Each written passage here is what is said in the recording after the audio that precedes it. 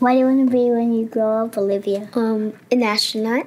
I want to be a fashion designer. A basketball player. I want to be an actor. A doctor. A teacher. A chef. An artist. What do you want to be when you grow up? A mermaid. Do you know what a computer programmer is? Yeah, no. No.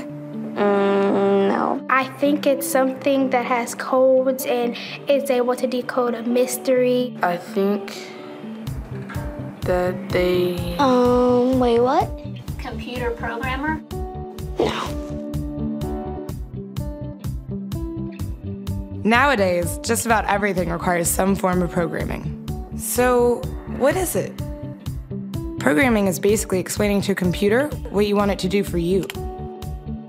When you're programming, you're teaching possibly the stupidest thing in the entire universe, a computer, how to do something. Programming is one of the only things in the world that, that you can do where you can sit down and just make something completely new from scratch, you know, whatever, whatever you want. It's really not unlike kind of playing an instrument or something, or, or, or you know, or playing a sport. It starts out being very intimidating, but you kind of get the hang of it over time. Coding is something that can be learned, and um, I know it can be intimidating. A lot of things are intimidating, but uh, you know what isn't. A lot of the coding that people do is actually fairly simple. Um, it's it's more about the process of breaking down problems than uh, you know sort of coming up with complicated algorithms as people traditionally think about it. Well, if it's fairly simple, why aren't there more of us doing it? Over the next 10 years, there will be 1.4 million jobs in computer science, and only about 400,000 grads qualified for those jobs. That's a shortage of a million people. So, how do you start?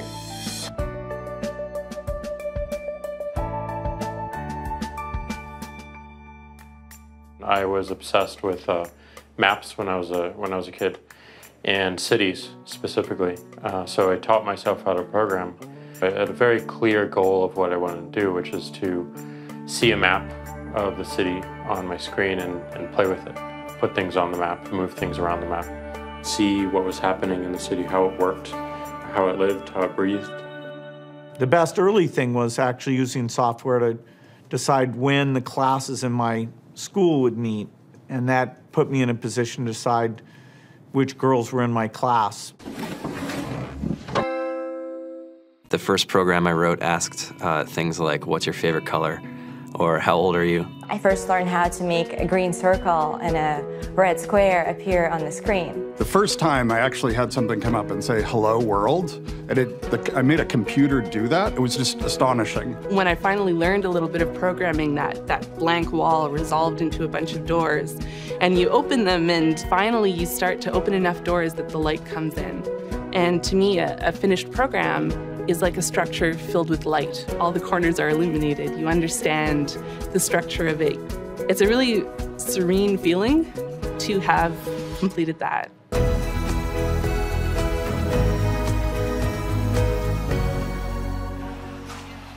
It took me some time to realize that creating things with your hands or creating code, creating programs, is just a different way to express creativity.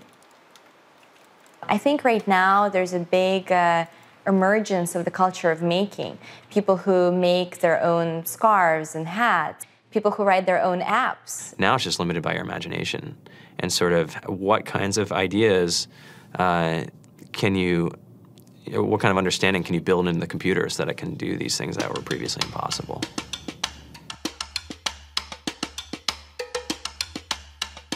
All great things are built in teams when you collaborate with other smart people.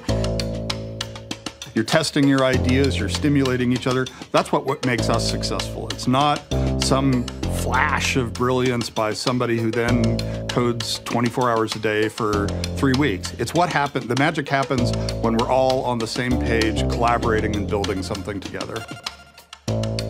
There's a much greater need in the world for engineers and people who can write code. Um, than, you know, than there will ever be supply. And so we all live these very charmed lives. To get the very best people, we try to make the office as awesome as possible.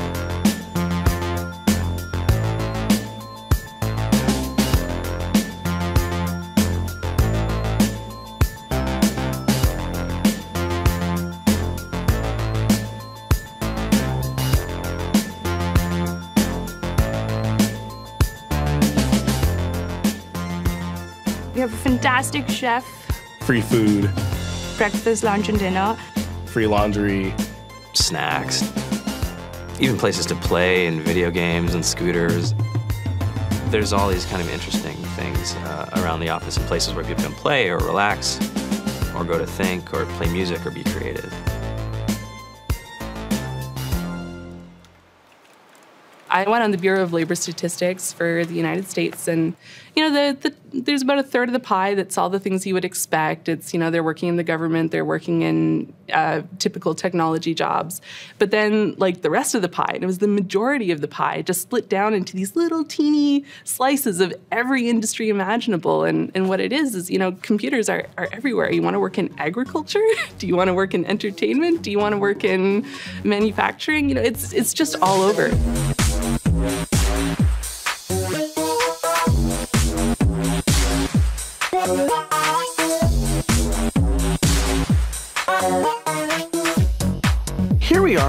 2013. We all depend on technology to communicate, to bank, information, and none of us know how to read and write code. So, you guys, what else? Who else has an idea of what we can change with our programming? What else can we do? Tiffany? What I saw my students take away from using Scratch and programming in our classroom is that they were willing to push through problems. Um, it really builds critical thinking, it builds problem solving, and it's something that they can then apply to math in the classroom or their reading skills. We integrated science with this programming, and I saw my scores go up 30%. When I was in school, I was in this after school group called the Whiz Kids. And when people found out, they laughed at me and, you know, all these things. And I'm like, man, I don't care. I think it's cool. And, you know, I'm learning a lot. And some of my friends have jobs. It's important for these kids. It should be mandatory to be a citizen on this planet to read and write code. I just think you have to start small, right? And I think that's one of the biggest misconceptions about computer science and programming overall is that you have to learn this big body of information before you can do anything. You don't have to be a genius to know how to code. You need to be determined. Addition, subtraction, uh, that, that's about it. You should probably know your multiplication tables. You don't have to be a genius to code. Do you have to be a genius to read? Do you have to be a genius to do math? No.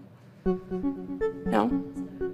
I think if someone had told me that software is really about humanity, that it's really about helping people by using computer technology, it would have changed my outlook a lot earlier. Whether you're trying to make a lot of money or whether you just want to change the world, computer programming is an incredibly empowering skill to learn. To be able to actually come up with an idea and then see it in your hands and then be able to press a button and have it be in millions of people's hands. Uh, I mean, I think we're the first generation in the world that's really ever had that kind of experience. The programmers of tomorrow are the wizards of the future. You know, you're going to look like you have magic powers compared to everybody else. I think it's amazing. It's, I think it's the closest thing we have to a superpower.